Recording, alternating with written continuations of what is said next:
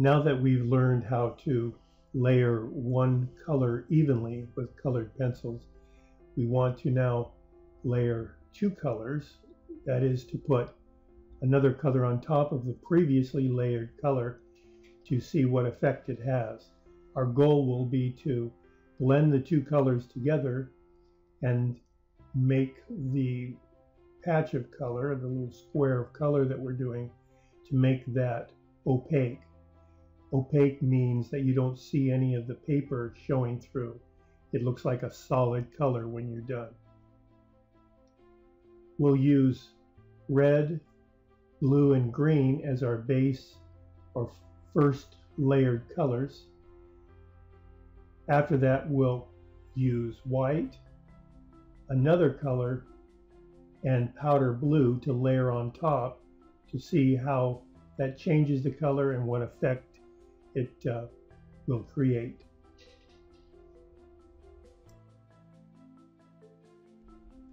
We will use the same technique that we used in the previous handout and try to layer a very even layer. That will help us later to also create an even solid color when we layer the second layer. At this point, I'll go ahead and speed up the video and you can see how I will color all the boxes.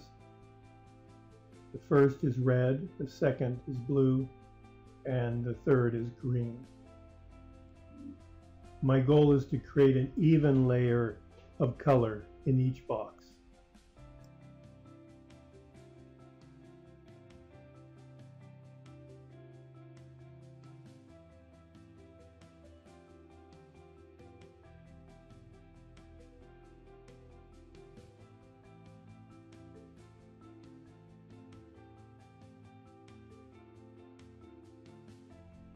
Now I will start with the second layer. The first color I'll use is white. So the top, top box will get white. Then I'll move down to uh, the second box, which is yellow in this case. And the third box will be powder blue.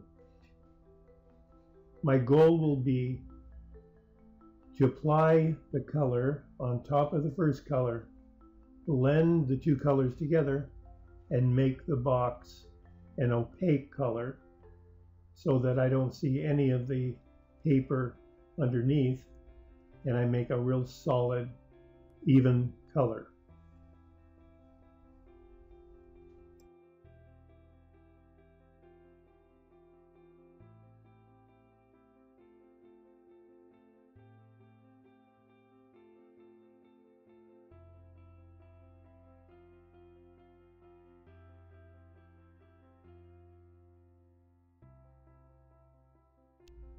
The next color I will use is yellow. It will have a different effect, and that's the purpose of this, so we can see what effect it will have. It's a light yellow, so I'm trying to keep it lighter, but even though it's a light yellow, we can see in this case, it actually creates a darker look to the color. I'll go ahead and blend that and attempt to make a very even color. If it's darker than I have intended, I can always use some white to blend into that if I want to, or I might leave it as it is.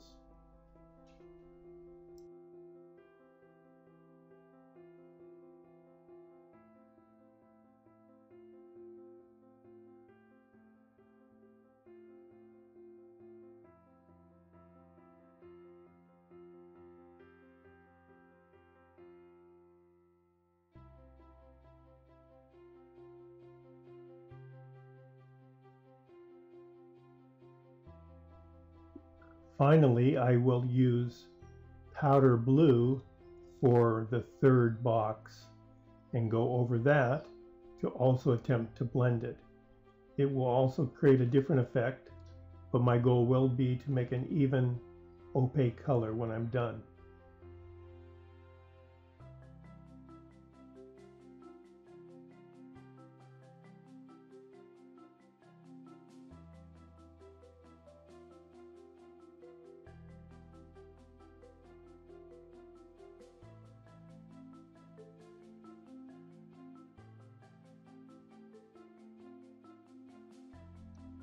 Now I'll go ahead and work on the blue boxes and the green. The top box on the blue will get white. The middle box uh, gets a green and the lower box gets powder blue. I will try to make them very even and opaque like I did the first boxes. On the green boxes, the top box will be white, the second box will be uh, yellow, and the third box will be powder blue as well and I will also try to finish those the same as I did the other boxes to make a very even solid and opaque color. Remember when you are blending the second box, second box in the blue and the second box in the green, choose a light color. So for the blue I want to choose a light green and for the green I want to choose a lighter yellow just so the, the color doesn't become too dark.